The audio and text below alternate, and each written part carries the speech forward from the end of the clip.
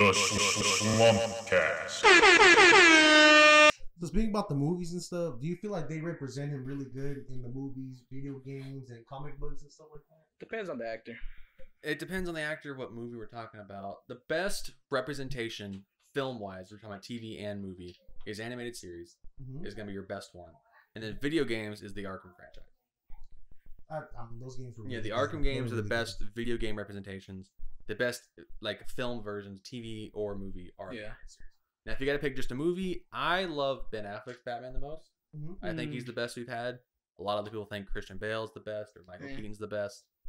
They all did their strengths. I Like mean, the reason I like Christian Bale's a lot because they give him the cool gadgets and stuff. That He was definitely more the tech guy. Make him. yeah, he was the tech guy for sure. Kryptonite. Yeah, like Yeah. Bale had the tech.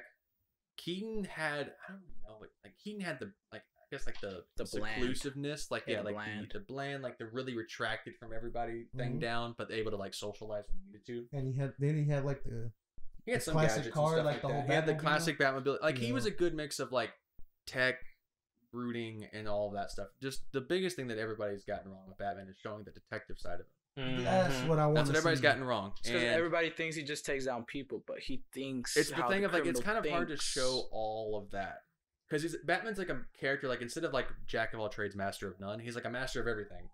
So it's hard to like show all of that, and you're like, he's just OP. Why is he always? Why is he losing Yeah. sometimes? Like the movie will end to like two hours. It'll be like a freaking Avengers movie.